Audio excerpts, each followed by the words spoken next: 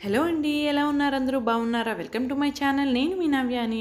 Friends ఇంట్లో ఎవరైనా సరే వర్కింగ్ ఉమెన్ అయినా సరే లేదా ఖాళీగా ఉన్న వాళ్ళైనా రోజు చపాతీలు కానీ పుల్కాలు కానీ చేయాలి అంటే చాలా తలనొప్పి అండి పిండి కలపాలి నానబెట్టాలి ఇదంతా చేయాలి.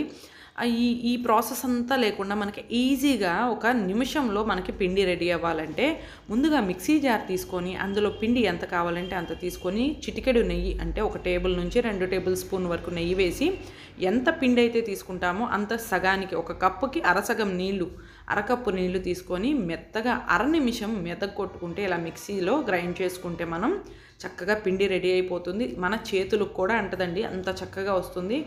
కొంచెం పైన ఆ గ్రీస్ కోసం మనం ఆ నెయ్యి వేసుకోవచ్చు లేదంటే నూనె వేసుకోవచ్చు. ఒక నిమిషం పాటు అలా మిక్స్ చేసుకొని పెట్టుకుంటే పిండి అనేది ఒక అరగంట సేపు నానినంత టేస్ట్తో ఉంటుంది. ఇలా ట్రై చేస్తే చాలా బాగుంటుంది. ఒకవేళ మిక్సీ లేకపోతే తప్పకుండా కవర్లు ఉంటాయి కదండి. ఆ కవర్లో పిండిని నూనెని అలాగే నీళ్ళని వేసి ఉప్పు అంతా వేసి మిక్స్ చేస్తే మనకి చక్కగా ఇలా చేతికి అంటకుండా రెడీ అయిపోతుంది. ఇకపోతే మనం నెక్స్ట్ టిప్. ఇది జనరల్గా చపాతీలు చేసి మనం హాట్ బాక్స్లో పెట్టుకుంటాం. హాట్ బాక్స్లో పెడితే చపాతీలు అడుగువి నీరు నీరుగా ఉండి మెత్తగా అయిపోతాయి. అలా కాకుండా మనం హాట్ బాక్స్లో పెట్టేటప్పుడు అడుగున ఒక టిష్యూ కానీ లేదంటే కాటన్ క్లాత్ అయినా పర్వాలేదు. పాత గుడ్లు ఏవో ఒకటి ఉంటాయి. అవి కానీ పెట్టి ఒక చిన్న ప్లేట్ కానీ చిన్న గిన్నె కానీ పెట్టి దీనిపైన చపాతీలు పెడితే ఈ చపాతీలు ఖచ్చితంగా వారం రోజుల వరకు పాడవకుండా చాలా ఫ్రెష్గా చేసిన రోజు ఏ టేస్ట్తో ఉంటాయో అదే టేస్ట్తో ఉంటాయి. మీరు ఏ ఊరైనా తీసుకువెళ్ళటానికి కూడా ఈజీగా ఉంటుంది. ఇకపోతే మన నెక్స్ట్ టిప్. ఈ సీజన్లో ఇప్పుడు మనకి బాగా క్యాలీఫ్లవర్ అనేది అవైలబిలిటీలో ఉంటాయి కానీ ఈ ఆర్గానిక్ మనకి దొరకాలి అంటే అది కొంచెం ఎక్స్పెన్సివ్ కాబట్టి మనం జనరల్గా మార్కెట్లో వెళ్ళి తెచ్చుకుంటూ ఉంటాం.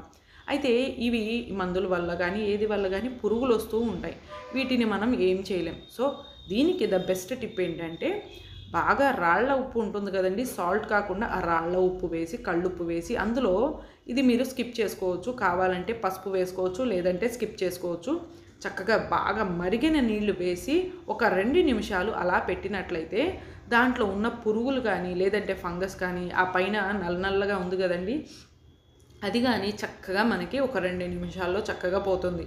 అయితే దీన్ని మళ్ళీ క్లీన్ వాటర్లో తీసుకొని ఒకసారి కడుక్కుంటే చూడండి ఇందాక మీకు బ్లాక్గా ఉంది ఇప్పుడు చక్కగా పసుపు వేసా కాబట్టి కొంచెం కలర్ చేంజ్ అయింది. బట్ స్టిల్ చాలా నీట్గా ఉంటాయి. ఎటువంటి మనకి ఎఫెక్ట్స్ లేకుండా కూరగాయ అనేది చాలా ఫ్రెష్గా ఉంటుంది. ఇకపోతే నెక్స్ట్ టిప్. పూరీలు బాగా పొంగాలి. కానీ చాలామందికి పూరి పొంగదు. అలాంటప్పుడు ఒక చిన్న టిప్ ఇది ఒకటి వాడండి. పూరీ పిండి కలిపేటప్పుడు తప్పకుండా చిటికెడు పెరుగు అంటే టేబుల్ స్పూన్ నుంచి రెండు టేబుల్ స్పూన్ల వరకు పెరుగు వేసి కలిపి ఒక్క ఐదు నిమిషాలు పిండి పక్కన పెట్టినట్లయితే మీకు పూరీలు వేసినవి వేసినట్టే అలా పొంగుతాయి. పొంగిన తర్వాత సాయంత్రం వరకు కూడా పూరి అనేది చాలా మెత్తగా ఉంటుందండి. ఇది నమ్మండి. ఇది నేను ప్రతిసారి ఇంట్లో చేస్తాను. ఇలా ట్రై చేస్తే చాలా బాగుంటుంది.